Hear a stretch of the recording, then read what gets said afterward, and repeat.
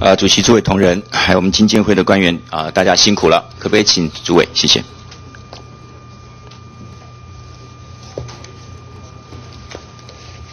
好，谢谢李委员。诸位辛苦了哈。呃，没有电子媒体，所以我们可以稍微轻松一点啊。那个我们在网站上啊，金监会的网站上看到一个很重要的一栏，叫做育才、留才还有揽才啊。呃，金监会自己呢，对于人才的这种培育，或者是组织的安排上，对人才的管理，有没有特别的考量？这个题题目啊，你可能不晓得我在问什么哈。本来总统府呢要成立一个组织改造的时候，要成立经济咨经济的顾问委员会啊，或者是经济咨询委员会，但是商号这个立法院院不同意啊，所以它就变成只有法制委员会跟人权委员会啊。但是我们是总统制，总统制的话，现在是总统制了哈。那么总统呢，他有很多很多的经济的咨询工作啊，必须要靠他的行政部门来处理了，他自己没有幕僚单位了啊，否则的话，美国有白宫的这个有经济的有经济学家嘛，对不对？有首席经济学家，所以我想请问，既然在这个总统的咨询里面最重要的是经建会，那么经建会的首席经济学家是哪一位？我们经建会没有这样子的一个设置，没有这样的设置。那但是，那你里面谁可以担任这个工作？本席还记得，我当我是台大经济系的学生的时候，我们有两个老师，两位老师都叫总体经济学的，一位叫孙正，一位叫郭婉容，他们当时都同时担任当时的经社会的副主委。现在我们经建会有三位副主委，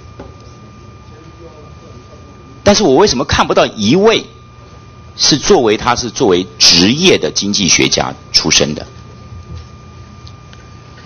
经济系经建会没有经济学家，劳委会没有劳动经济学家，财政部也没有经济学家。美国的财政部是有经济学家做一个次长的，做次卿的。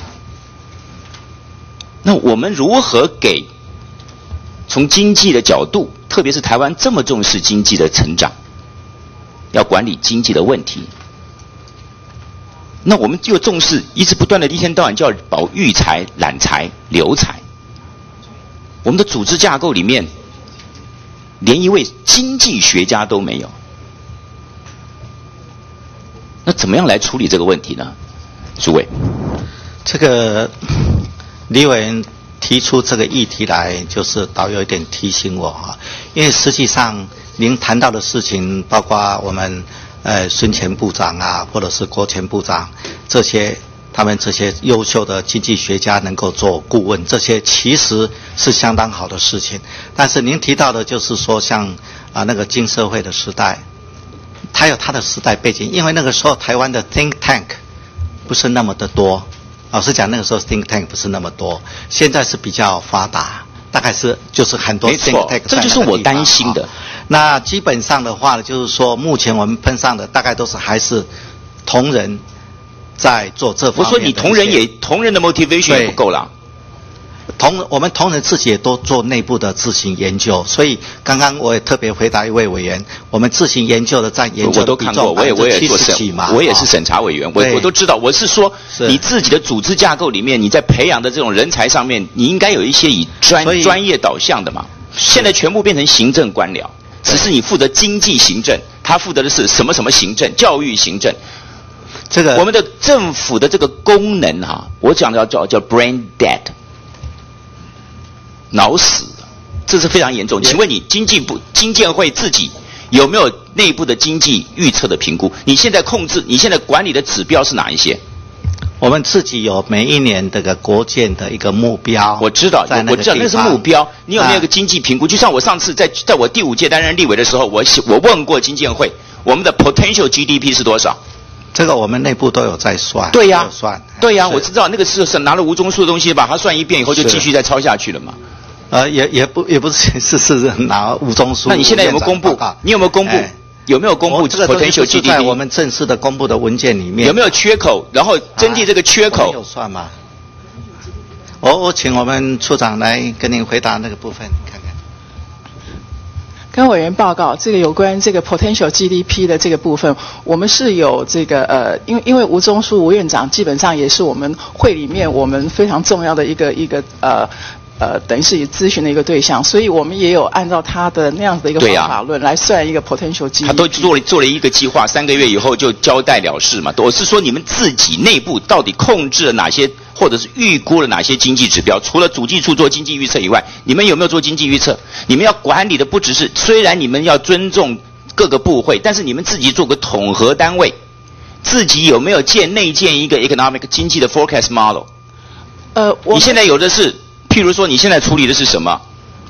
呃，跟委员报告，因为呃，基本上这个主计处它是我们这个整个全国的一个一个主计的一个负责单位。那经建会呢，每年我们在十一月下旬以后，我们会 base on 会根据主计处的一个预测，然后来做一个谢谢国家的整体的一个目标。这就是我我认为你们自己要独立，具有独立判断、独立研读的能力，不是只是靠主审主计处嘛？这个跟但像我来请问你，主计处公布今年第四届经济增长率超过百分之四，你认为合理吗？因为资料掌握在他告诉你说，他要十月下旬，他才开始公布新另外一个新的这个 revised 的一个这个 estimate 或者 forecast。那我们你经济经我为什么讲这个问题哈？金建会是要非常敏感的，长期、短期都要能够掌控。长期你有一个长期的结构性的规划，短期面对景气阴影的措施。当初在你的前一任的这个金建会主委的时候，我我记得金建会提出了，当时就提出了一个阴影计划嘛。那个就叫这个是一个政府你自己组织就要要有这个敏感度，所以这为什么你会设这个景气对策灯号，不是吗？好，我们看看景气对策灯号，这是我们估计的八月，我们在上个前两天就已经公布了，只是没有媒体啊，这些媒体我也我也我也就服了，也就算了，我们已经公布了。蓝灯，因为你只有一个指数没有出来，叫做制造业销售销售推估销售指数。那我们推估出来，我们跑时间数列推估一下，起不来了。所以全部一片蓝呐，而且分数往下掉了。你还说明天公布？你是行政官僚嘛？我说你内部应该知道了。我是说，你有经济学家，你有 warning，而且这个叫做为什么要做一个蓝灯这种东西？它是一个预警系统，不是吗？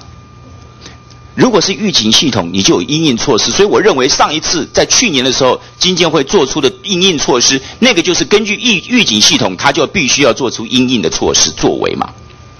只是很遗憾的是，没有在政府的这个系统里面被重视，对不对？没有被重视，所以它就变成了好像认为就是好像是很平常了。其实政府的官员要非常紧张啊。如果短期之间出现紧急状况的时候，我们怎么样去 stimulus？我们的这个景气刺激方案是什么？就赶紧要做啦，不是吗？哪有说一直等到了十个十个第十个蓝灯到现在？但是到底经济好还是坏呢？诸位，马总统说，马总统说，经济现况比金融海啸惨，哇！请问诸位，你对于经济现况真的比金融海啸是要惨吗？马总统的说法是对的吗？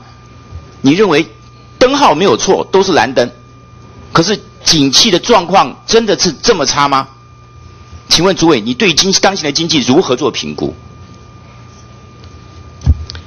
这个跟李委员报告，因为实际上当前的状况，以经监会来讲哦，我我我。